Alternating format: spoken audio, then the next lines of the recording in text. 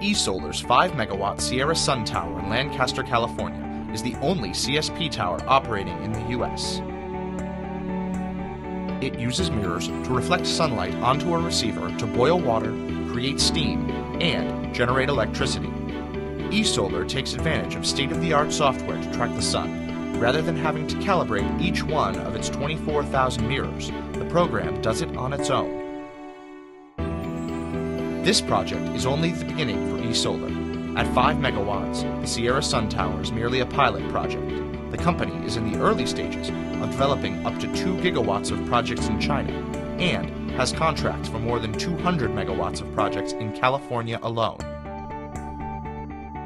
This is a groundbreaking project that blends the best of information technologies and energy technologies into something entirely unique, which is why eSolar is the recipient of the Excellence in Renewable Energy Award for Project of the Year.